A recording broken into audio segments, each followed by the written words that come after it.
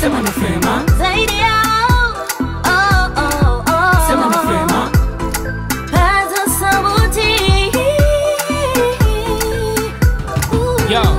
hii fama TV show, mwendo mdundo tunasepa nao, ruka juu, jenga maisha nao, cheza salama, linda maisha, uongozi vipi, sema nao, vipato vipi, dada, sema nao, afya bora, weka wazi nao, onyesha uwezo, nguvu ya binti. Haishikiki, nguvu ya kaka bila ya kiki. We! Hii fama TV show.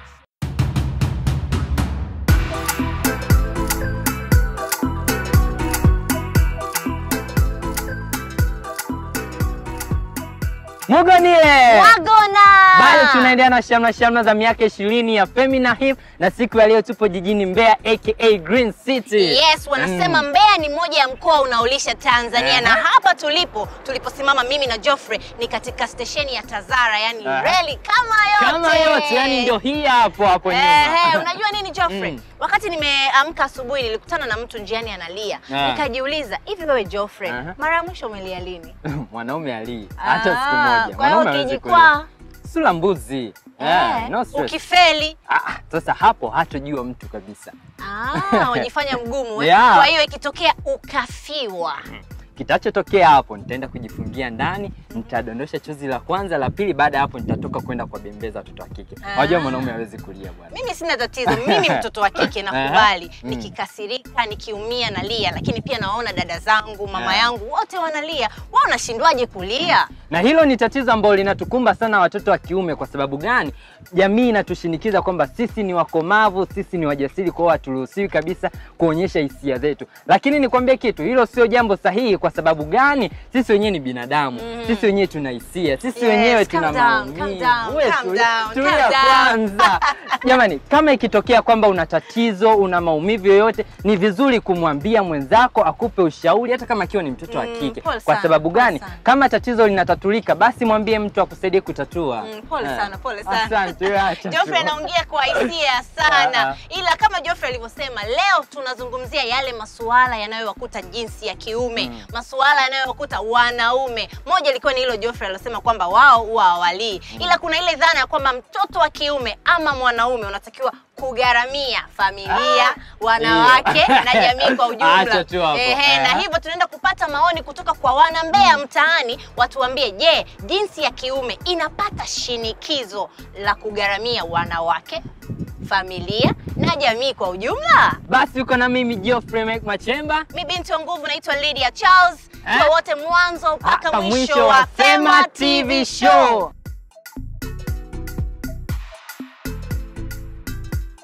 Jukumu la kulea familia ni la baba na mama, kwa sababu familia bila baba bado inakuwa haina adabu, au familia bila mama bado kuna mambo ambayo ni ya muhimu ambayo inatakiwa mama ayafanye kwenye familia na familia inyoke. Mwanamke kama mwanamke naye inatakiwa ajishughulishe, aingize kipato chake, kwa sababu hawezi akapewa kila kitu. Maisha ni kusaidiana, sio kumtegemea tu mwanaume. mwanamke achaka, achakalike na mwanaume achaka, achakalike. Kama wewe mwanaume utafuta mtaji, ndo utampa mtaji kidogo kwamba aka- akachakalike, ajiongeze kiakili, ndo mnasaidiana kifamilia, sio kumwachia familia mtu mmoja. hawapati shinikizo, inatakiwa usaidiane watu kwa- kulea familia kwa pamoja, sio analea mmoja baba peke yake au mama peke yake. Natakiwa tunalea watu kwa pamoja, watoto wanapata malezi baba na mama.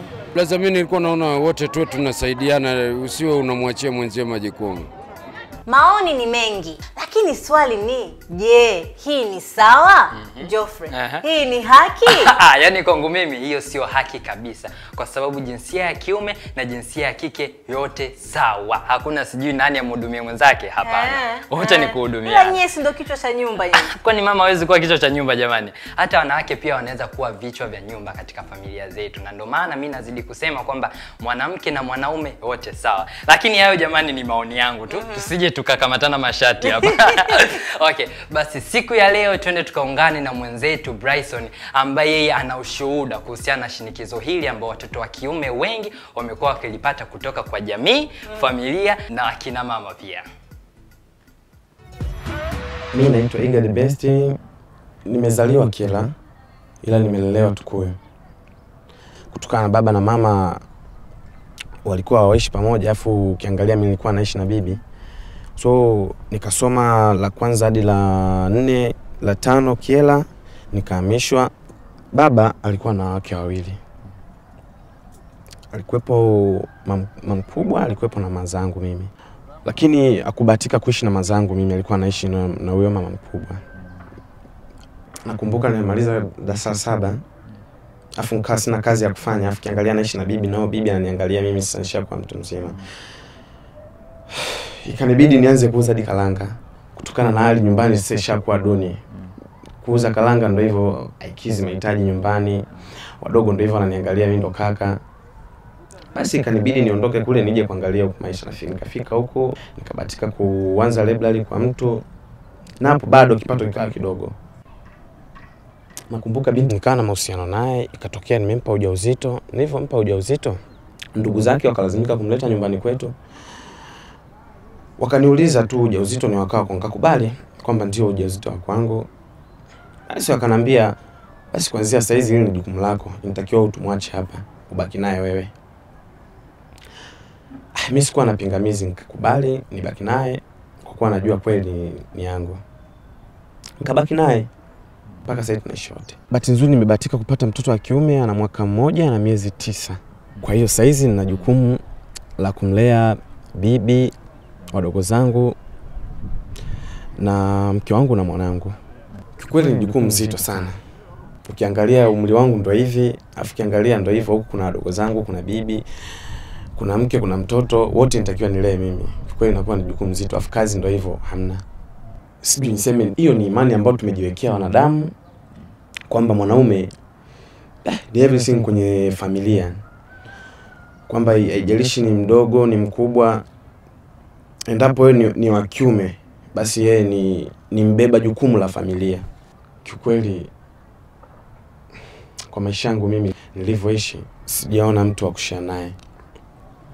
Kidogo bibi yangu ndo naweza nikamwelekeza shida zangu, nikiwa na tatizo yeye kidogo anaweza akanipa mawazo nifanyeje, lakini saizi nipo na mke wangu kidogo, nikikwama kimawazo mi namuuliza yeye nifanyeje. Sina mtu wala sina rafiki wa dhati ambaye mi naweza nikamwelekeza matatizo yangu. Kiukweli nikasema kweli huyu anaweza akanisaidia, ni rafiki wa ku, wa kunipa hata mawazo, hapana. Kwa asilimia kubwa huwa anashare na mke wangu.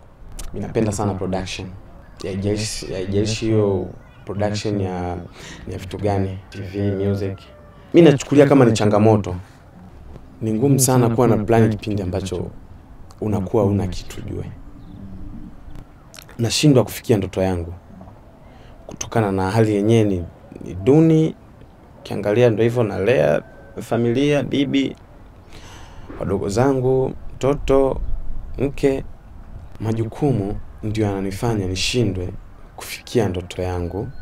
Najikana mimi natanguliza ndugu zangu mbele bibi yangu wadogo zangu wakiwa wanategemea mimi ndo mkubwa nyumbani,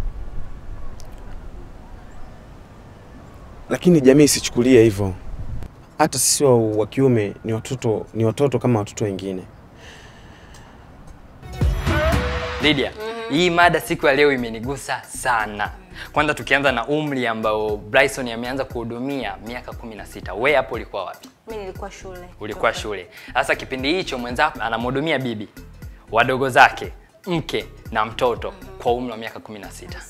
Mm. lakini tukiachana na umri wa Bryson Yeah. tuangalie madhara yaliyompata Bryson katika umri huo mdogo alikatisha ndoto zake Mm. eh? hebu wote tuna malengo nadhani wengi wetu tuna malengo tunataka kuwa mtu fulani tunataka kufanya vitu fulani lakini imagine umeamka asubuhi alafu ndoto zako zote zimeondoka inauma Yeah. Kuna msemo mmoja ambao kausema kwamba nimekatisha ndoto zangu kwa sababu nimeweka familia yangu mbele, lakini kaongezea akasema pia kwamba sina plani zozote katika maisha yangu kwa sababu sina kitu. Hicho ni kitu ambacho kinawatesa vijana wengi jinsia ya kiume. Kwa sababu gani? Wanaweka familia mbele, wanahudumia shinikizo, wanapata makubwa sana, kana kwamba hata wao wenyewe wanajikana. Basi dakika hizi hapa twende tukawapige stori na wenzetu chini ya mti kule. Unaona, mada ya leo bwana, mimi watu wakirusha mawe mimi nakimbia. Mambo ni moto kwa sababu kuna kuna pande mbili hapo zinavutana. Basi tukiongozana wote itakuwa vizuri sana, tukawasikiliza. usiondoke Yeah.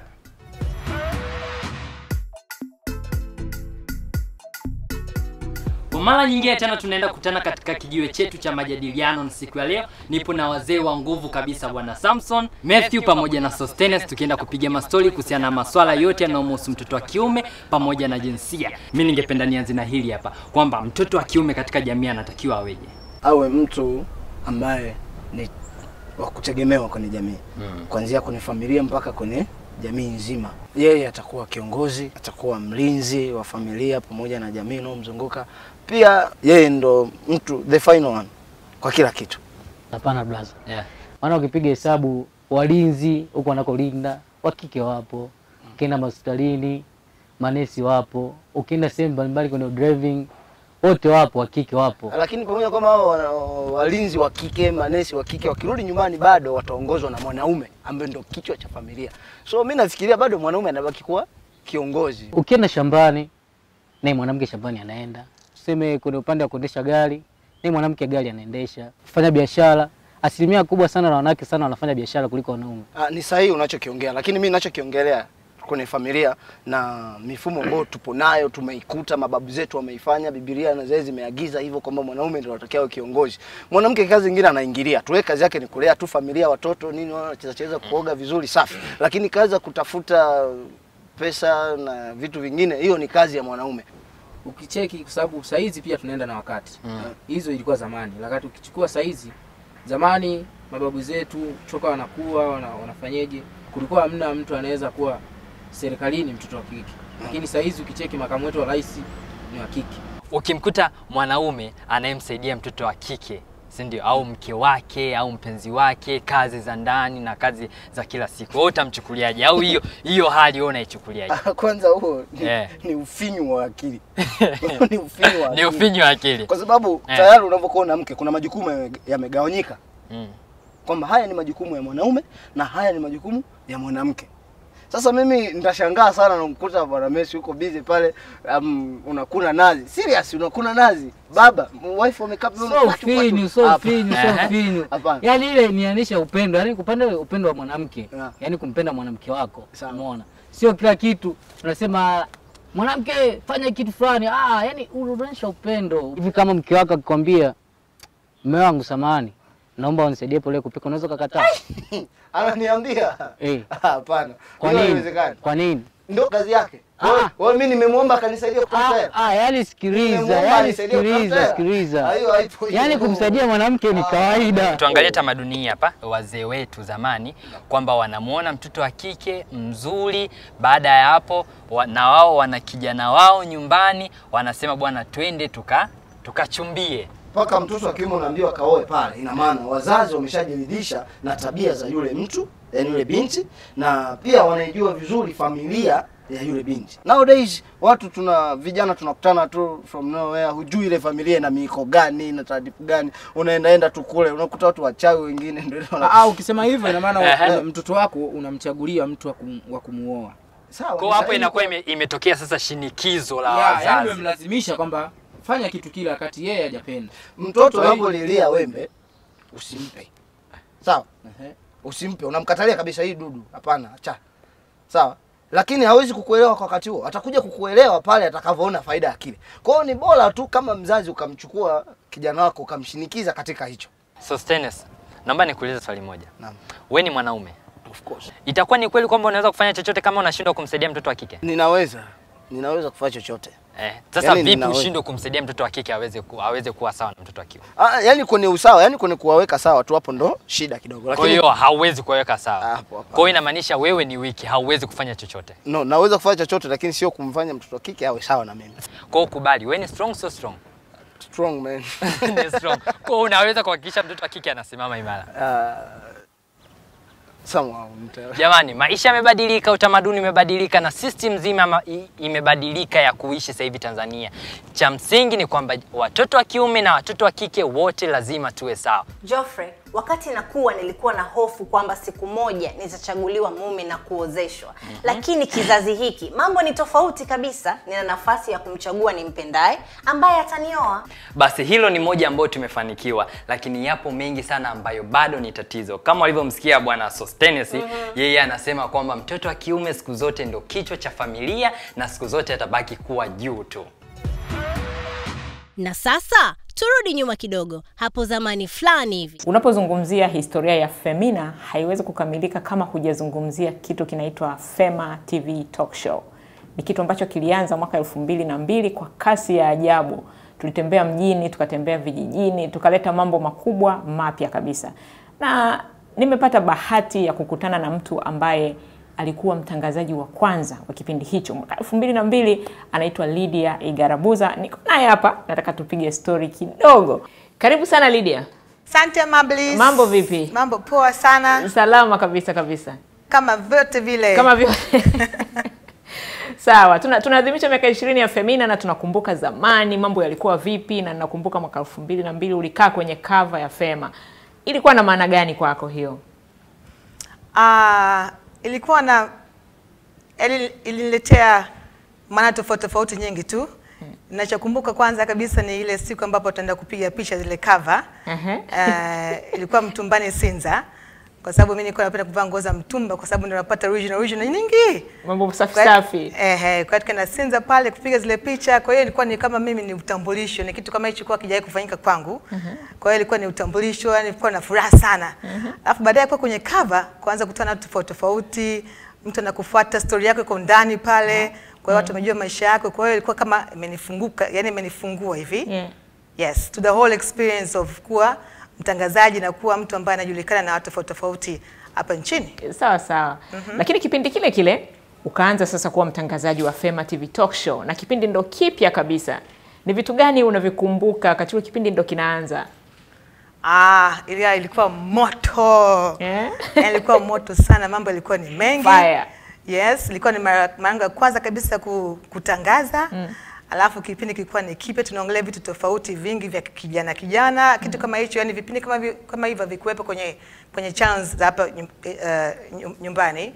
Kwa hiyo ilikuwa ni kama kuna changamoto, lakini ilikuwa ni kama party hivi, kwa sababu kila siku wakati tunakwenda kwenye set ilikuwa ni vitu vipya, kila mtu ana shauku ya kufanya kazi. Uh, uh, wageni tulikuwa tunapata wageni wengi, vijana wako wanataka kuja ku- ku- kuwepo kwenye show. Kwa hiyo ilikuwa ni kama excitement, yani ilikuwa ni battle fulani hivi. Eh? Kwa hiyo japokuwa kazi ilikuwa ngumu, kwa sababu tulikuwa tunaongelea mada ngumu nzito, lakini ile atmosphere ilikuwa nafanya kazi iwe rahisi sana, Sawa sawa. Unasema Yes. ilikuwa kama bata hivi. kama bata yani. Kuna kuna kipindi fulani uliwahi kunisimulia wakati ule tunafanya kazi pamoja. Nakumbuka ulinisimulia safari moja ili, ili, ilichosha sana lakini ilikuwa ya furaha vile vile. Unaikumbuka hiyo?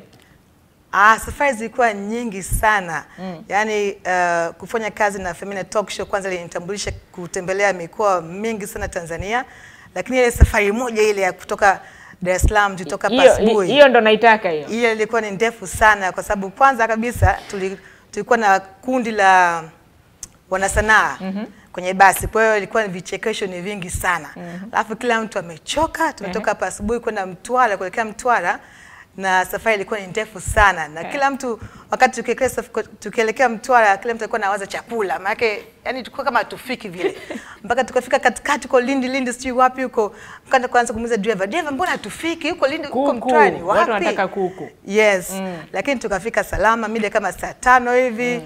Watu tuna njaa, tukakuta mji wote ushazima, hakuna chakula. Kupata sehemu ya kulala ilikuwa ni tabu. Kwa hiyo lakini kwa sababu tulikuwa wengi na wote vijana, wote tumejua kwa tumeenda kufanya nini kule, kwa ilikuwa ni, ni kitu ambacho tuweze kukabiliana nacho. Safi kabisa. Umenikumbusha mbali. Tumetoka mbali sana. Umenikumbusha mbali sana. U- Unasemaje sasa tunaadhimisha miaka ishirini ya Femina, unatuambia nini kama familia? Ah, familia famili, familia Femina na hapa kwanza hongera sana. Hongera kwa kutimiza miaka ishirini.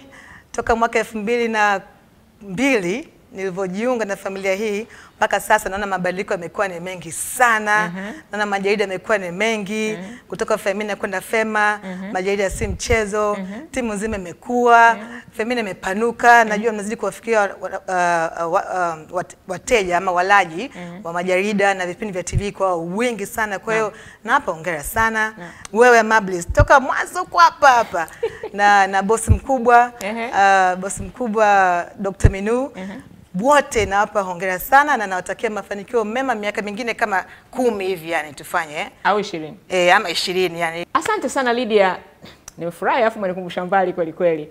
Najua hata mtazamaji utakuwa umekumbushwa, kuna vitu umedokoa dokoa viwili vitatu Basi amemaliza wiki yake hiyo, lakini wiki ijayo tutakuwa na mtu mwingine atukumbushe kumbushe na yeye anayoyakumbuka kwenye safari ya maisha ya Femina Hip.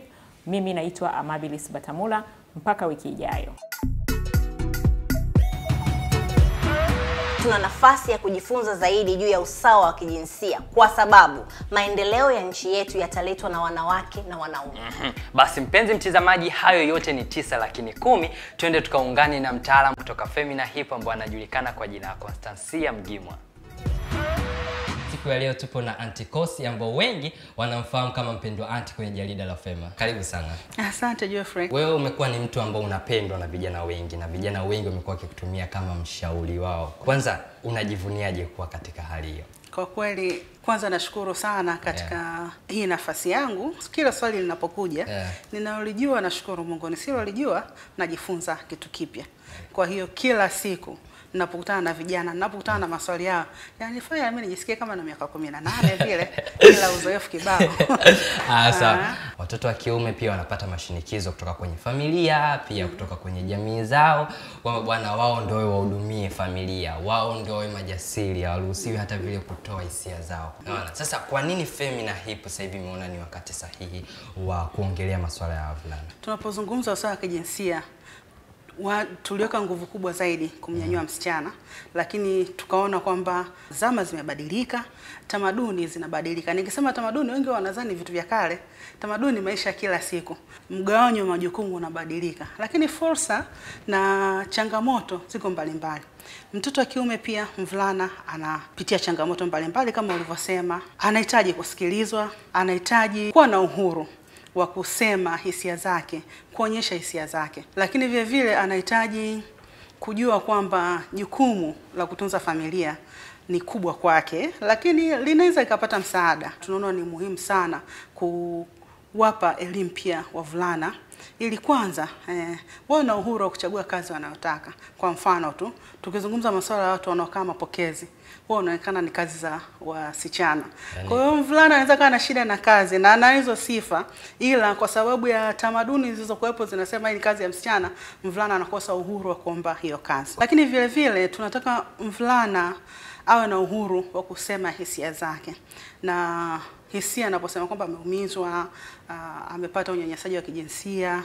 Maana sasa hivi tunawafanya wasichana waseme, lakini wavulana ambao pia wanapata unyanyasaji wa kijinsia wanashindwa kusema. Lakini vivyo tafiti zinaonyesha mdondoko wa wanafunzi mashuleni, yaani mwanafunzi kutomaliza masomo hasa katika shule za sekondari unalingana karibu sawa, wasichana na wavulana, tofauti ni ndogo sana. Msichana akisoma eh, kwenye familia eh, atasaidia kupunguza ule mzigo mkubwa wa kutunza familia kiuchumi ambao mvulana anatwikwa tangu akiwa mdogo, kwa kama tulivyomuona yeah. Bryson alivyobeba jukumu kubwa la kutunza familia peke yake. maana watu wengi walikuwa wanasema bwana Femina Hip yenyewe inajikita na masuala ya watoto wa kike tu, unaona, kwa wakawa hata anaogopa ingie kujiunga kwenye Femina Hip na vitu kama hivyo. Femina Hip inaamini katika usawa wa kijinsia kwa maana ya kwamba uh, uwepo upatikanaji sawa wa rasilimali, upatikanaji sawa wa fursa kwa wasichana na wavulana. Lakini pia tukisema usawa wa kijinsia haina maana tunachukua haki ya mvulana mm. au haina maana tunachukua fursa za wavulana. Maana yake ni kwamba wote wapewe nafasi sawa. Tunataka kaka aonyeshe umahiri wake, tunataka kaka achukue nafasi yake. E, kwa hiyo timu ya Nguvu ya Kaka itakuwa inapaza sauti za kina kaka. Asante sana mpendwa, Ante. Lakini unajua kizuri nini bwana, watoto wa daa au vijana wa Dar es Salaam tunasemaga mambo ya nongi bila selfie, au sio? Mimi naomba nichukue selfie moja naye. Najifunza kila siku. Na hii ndiyo time ya stadi za maisha. Sasa jamani, mimi jamani, nitafanya nini jamani? Ah, majukumu yote nimeajua mimi. Eti oh, Dula, wewe kwa sababu ndio sasa hivi ushakuwa kaka, itabidi uangalie familia. Sasa mimi naangaliaje familia macho yenyewe mawili? Ah. Ah, jamani, mimi jamani. Ah. Kila nikipiga moyo konde unakataa. Siwezi, majukumu ni mazito jamani. Ah. Yaani mama, imekuwa sio mambo kabisa. Ah. Vipi tena? Wewe wewe nini wewe? Vipi basa? Mbona unazunguka kama gwaride? Una mambo mengi. Hebu kwanza tuongee vizuri. Imekuwaje hapa? Huyu mzee wangu anataka eti mimi nile familia yetu. Wadogo zangu wako sita, six years. Oh, wako sita. Na mimi mwenyewe nipo kama sisimizi nimeachiwa nibebe dunia. Kweli nawezaje sasa? Ah. Sasa hiyo ndio kinachokufanya unachanganyikiwa hapa. Ah. Wanaume sifa kazi, majukumu. Hmm. Kwa hiyo Baraka, unataka kumwambia mwenzio kwa sababu mwanaume basi ndio apewe majukumu yalomzidi umri, si ndio? Eti. Eh? Sasa wewe unakuwaje mwanaume bila majukumu kwa mfano? Wanaume tumeumbwa mateso, mateso. Hivyo sasa. hangaika. Sasa majukumu sio mateso. Chukua Ah. pale kuhangaika fanya. Eh. Unajua mnatakiwa mtambue wanaume na wanawake sote tuna hisia sawa, ila tatizo lenu nyinyi hapa sasa, mkiwa na matatizo kama hayo mnabaki nayo rohoni wenyewe, hamtaki kuyasema kwa watu. Tofauti na sisi wenzenu watoto wa kike, sisi wenzenu tukiwa na kwetu tunamtafuta mtu ambaye tunamwamini tu, Ndio. eh, tunamwambia matatizo yetu, afu tunapata yako mengi sana. Umeona eh? Eh. Sasa Usimsikilize huyu, huyu anakupotosha.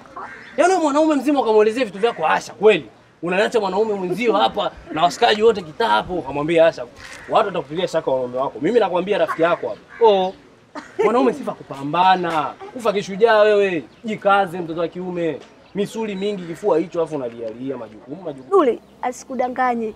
Unajua tatizo la nalo Dule, anaweza kupata msongo wa mawazo eh? Eh. na mwisho wa siku atakuwa kama mtumwa Eh? ataanza kufanya mikazi kumzidi hata umri wake, ili mali tu familia yake iweze kula. hmm. Unaona, hasa mwisho siku unaweza kumpekea hata kifo kwa taarifa yako. Wewe. Kumbe eh, najisikia kufa kufa.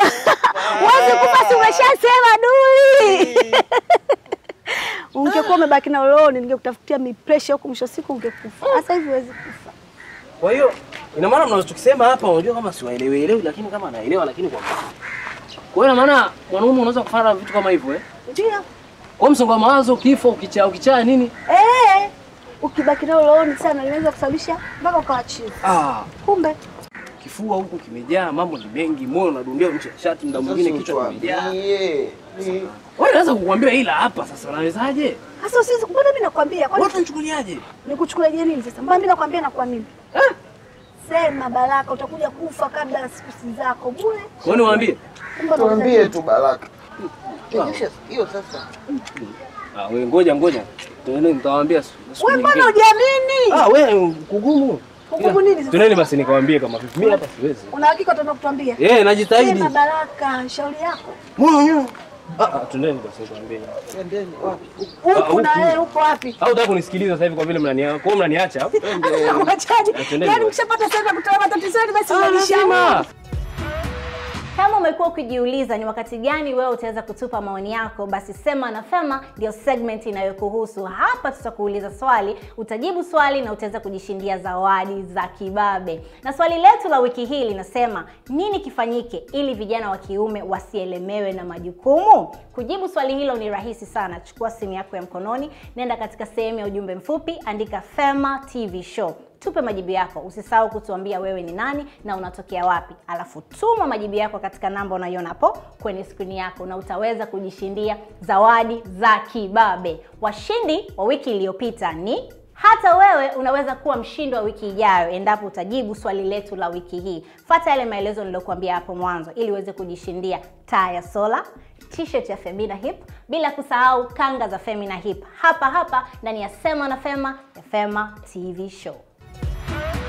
Siamini hadi tunafika ukingoni mwa kipindi. Geoffrey, hujasema wewe ni nani? Uh, nilikuwa nimewapa nafasi kwanza vijana wenzangu waweze kutoa madukuduku yao, ila kwa sababu umeliibua, ngoja niseme. Uh, mimi ni mmoja kati ya vijana watano ambao wanaunda timu ya nguvu ya kaka ambayo imetengenezwa na Femina Hip. Na moja ya kazi yenu ni kupaza sauti za vijana wa kiume, sio? Yeah, tunapaza sauti ya vijana wote nchini Tanzania. Na la ziada, mpendwa anti amesema wavulana pia wanapitia ukatili wa kijinsia na ndio maana ni muhimu kuwasaidia na kuwapa kipaumbele. Mhm. na hii ikatupa nguvu sisi Fema TV show kuja na mada kama hii hapo tukaidiscuss na tumeichambua vizuri kabisa. Naamini wote tumeelewa. Basi kwa mada nzuri kabisa na moto moto kama hizi hapa, tukutane katika vipindi vingine muda na wakati kama huu hapa. Mimi naitwa Geoffrey Michael Machemba, nipo na Lydia Charles na, na hii ni Fema TV show.